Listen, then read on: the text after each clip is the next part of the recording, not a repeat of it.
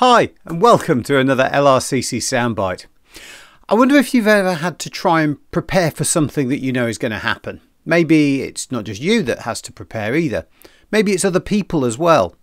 It could be that you're trying to inspire a football team just before they go into an important match. Or there's some event you're organising and people are looking to you to tell them what you need them to do. Teachers at school, maybe they prepare us for exams. Things like that. There are some people that we listen to in life, and others whose advice we don't rate so highly. But today, I'm thinking about a time when Jesus was trying to prepare those around him for what was to come, with mixed reactions. So let's picture the scene. Jesus is preaching and teaching. He's gaining a lot of popularity, and crowds come from miles around to see what he's going to do and to hear what he's got to say.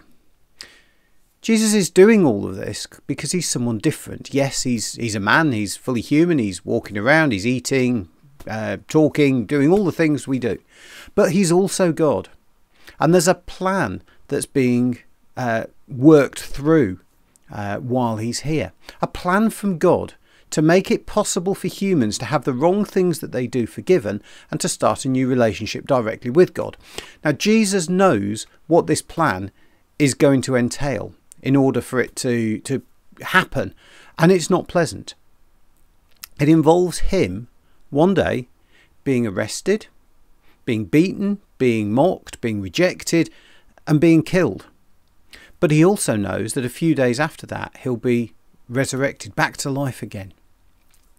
So Jesus starts to tell his closest followers about this. He wants them to know that things are going to get really bad, but that they will very soon get much better again.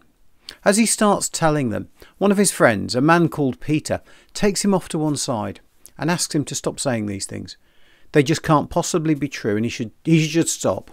After all, you know, wouldn't wouldn't we do that? If a friend starts saying things we think is crazy, then we would maybe just have a word.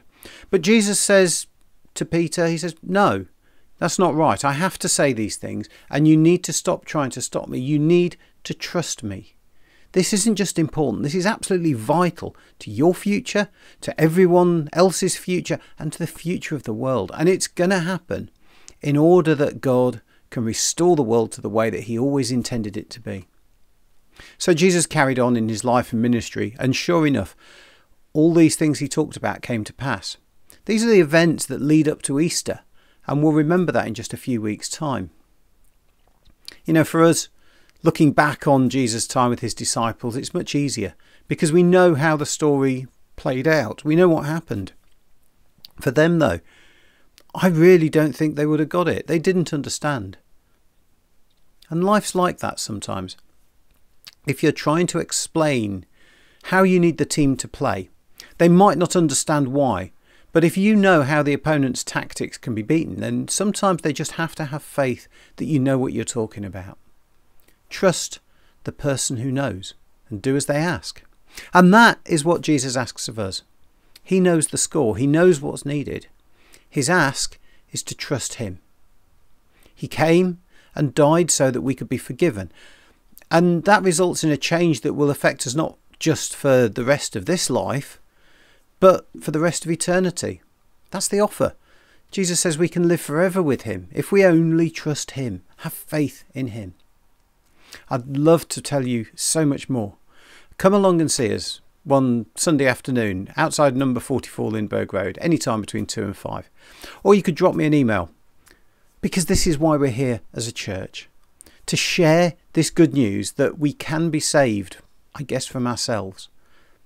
I'll be saying more about Easter and why it's so important to me and to other Christians over the next few weeks. And I pray that this Easter you will come to see who Jesus is in a way that maybe you'd never thought of before. God bless you. I'll see you next time. Have a great week.